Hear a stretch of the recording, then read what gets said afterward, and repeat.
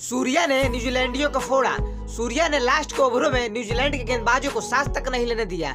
हालाँकि team Southee ने hat trick wicket ली है, लेकिन सऊदी का हैट्रिक विकेट कोई काम नहीं आया।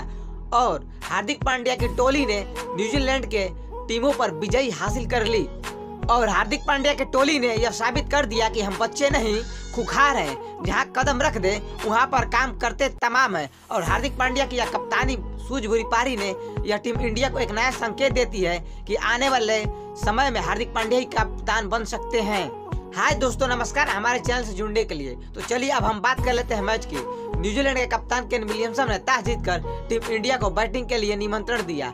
और टीम इंडिया के लिए यह देखना था कि ओपनिंग करने कौन आएगा, क्योंकि क्रिकेट फैंस काफ़ी बेसब्री से इंतज़ार कर रहे थे कि न्यू ओपनिंग जोड़ी कौन होने वाली है। और ऐसे में ऋषभ पंत और ईशान किशन ने बैटिंग करने आए। और हालाँकि ऋषभ पंत मात्र छह रन के ही स्कोर पर जल्दी आउट हो गए। और उनके बाद आए सूर्य कुमार यादव। सूर्य कुमार यादव के साथ ईशान किशन ने थोड़ी बहुत देर तक साथ दी, लेकिन उन्होंने भी 31 गेंदों में 36 रन बनाकर आउट हो गए। और उनके बाद आए श्रेष अय्यर। श्रेष अय्यर, हालाँकि वो भी तेरह रन बनाकर आउट हो गए और उनके साथ फिर साथ निभाए कप्तान कुंफू पांड्या, हार्दिक पांड्या ने। और सूर्य कुमार यादव और हार्दिक पांड्या ने मिलकर शानदार पारी खेली। और सूर्य कुमार यादव ने जब मारना स्टार्ट किया तो न्यूजीलैंड गेंदबाजों का हालत खराब हो गया। सूर्य कुमार यादव ने अपने इनिंग में ज़बरदस्त एक से एक छक्के लगाए और सूर्य कुमार यादव ने महज तैतीस गेंदों में अपना पहले हाफ़ सेंचुरी बनाया। उसके बाद सूर्य कुमार यादव के ऊपर शैतान सवार हो गया और ऐसे मार रहे थे जैसे कि न्यूजीलैंड गेंदबाजों के साथ खिलवाड़ कर रहे हैं। कभी एक्स्ट्रा कवर के ऊपर से तो कभी पीछे, चारों तरफ़ बस बाउंड्री ही बिटोर रहे थे। और महज लास्ट के चौदह ही बॉल में सूर्य कुमार यादव ने पचासा बना दिया। और उस तरह सूर्य कुमार यादव ने उनचास गेंदों में अपने करियर का दूसरा सबसे लाजवाब और शानदार सेंचुरी बना डाला। और बीसवें ओवर में टीम सऊदी का दिखा कमाल। टीम सऊदी ने पहले कप्तान हार्दिक पांड्या को और उसके बाद दीपक हुडा और उसके बाद वाशिंगटन सुंदर को आउट करके टीम सऊदी ने अपने करियर का दूसरा हैट्रिक विकेट ले लिए।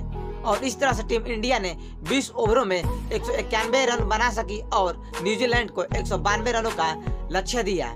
और न्यूजीलैंड की टीम लक्ष्य का पीछा करने उतरी और पहले ओवर के महज दूसरे ही बॉल में भुवनेश्वर कुमार ने फिलन एलन को कैच आउट करा दिया और उसके बाद आए केन विलियमसन और केन विलियम्स और डन कॉनवे ने दूसरे विकेट के लिए छप्पन रनों की पार्टनरशिप की। लेकिन उसके बाद न्यूजीलैंड की टीम लगातार विकेट खोती गई। हालाँकि कप्तान केन विलियमसन दूसरे एंड से टिके रहे, लेकिन अंत में उन्होंने भी कप्तान केन विलियमसन इकसठ रन बनाकर आउट हो गए। और न्यूजीलैंड की टीम महज 19 ओवर में 126 रन बनाकर ऑल आउट हो गई। और भारत के गेंदबाज भुवनेश्वर कुमार ने तीन ओवर में नौ रन दिए और एक विकेट लिए।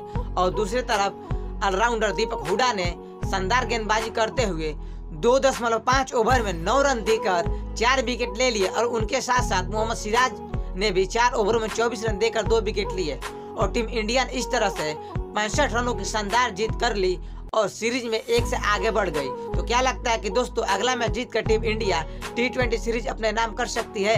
कमेंट सेक्शन में कमेंट करके ज़रूर बताइएगा। और यदि हमारी वीडियो अच्छी लगी हो तो एक लाइक करना ना भूलिएगा। तब तक ये चलते हैं और अगले वीडियो में इसी जोश जुनून के साथ मिलते हैं। जय हिंद बंदे मातरम।